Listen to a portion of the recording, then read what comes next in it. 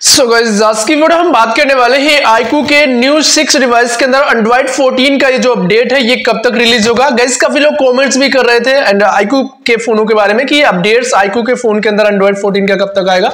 सो so, आज हम आपको बताने वाले हैं आईकू के न्यू सिक्स डिवाइस के अंदर ये अपडेट आपके फ़ोन में कब तक रिलीज़ होगा।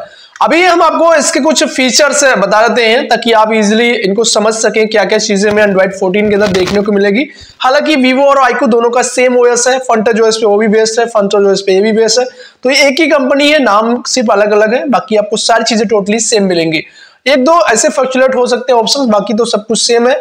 और इसके अंदर जो फीचर्स है मेन हाईलाइटर्स है, वो पॉइंट होगा, आपका कंट्रोल सेंटर होगा स्क्रीन सेवर जिसमें टेक्सेस को कलर कर पाएँगे फ्लोटिंग विंडो जिसमें आप एप्लीकेशंस को ड्रेक करके इजीली रन कर सकते हैं। ऐसी चीज़ें आपको देखने को मिलेगी। हालाँकि एक डेडिकेटेड वीडियो प्रॉपर है आई बटन को फॉलो कर लेना, उसमें मिल जाएगी, उसमें आपको समझ में आ जाएगा क्या क्या फीचर हमें एंड्रॉइड 14 के अंदर हमें देखने को मिलेगा।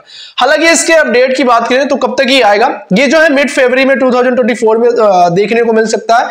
तो ये 15 20 लाइक 20 या 15 या 20 डेट में इसको जो है अब के ट्रायल वर्जन में अपडेट्स आ जाएगा, देखने को मिल सकता है। लेकिन ये स्टेबल वर्जन आपको थोड़ा सा और मे बी हो सकता है लॉन्ग चल सकता है।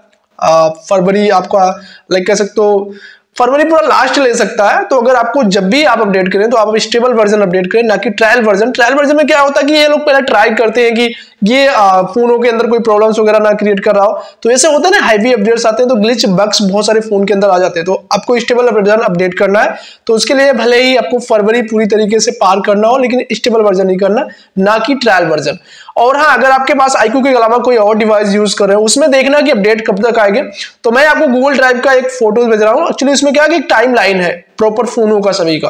तो उसमें जाके देख सकते हो कि आपके उस वाला डिवाइस के अंदर आईक्यू के कब तक एंड्रॉइड 14 का अपडेट आएगा।